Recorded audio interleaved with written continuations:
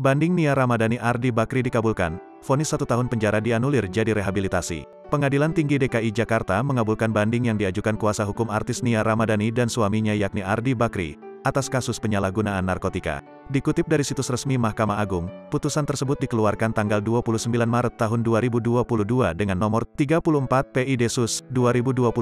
PT DKI putusan banding itu menghapus putusan tingkat 1 di Pengadilan Negeri, PN, Jakarta Pusat tanggal 11 Januari tahun 2011 nomor 770 PIT Sus PN Jekatpes mengenai amar putusan pada angka 2. Pada putusan banding itu, Nia dan Ardi tetap difonis bersalah karena telah menyalahgunakan narkotika. Namun mereka terbebas dari hukuman satu tahun penjara sebagaimana yang menjadi vonis majelis hakim di PN Jakarta Pusat.